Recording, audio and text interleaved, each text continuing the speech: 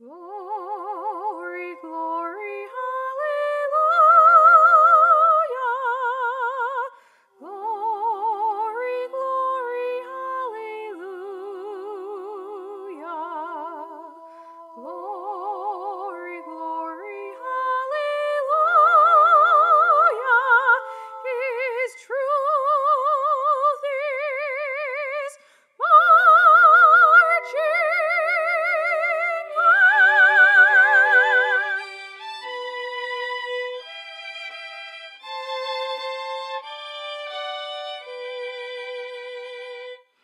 Mine eyes have seen the glory of the coming of the Lord. He is trampling out the vintage where the grapes of wrath are stored.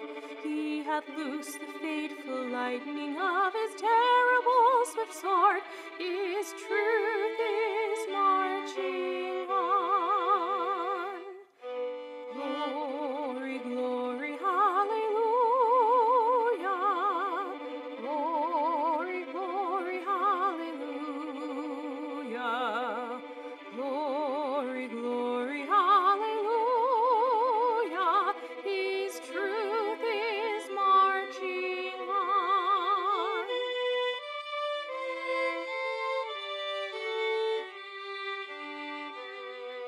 Seen in the watchfires of a hundred circling camps. They have builded him an altar in the evening dews and damps. I can read his righteous sentence by the dim and flaring lamps. His day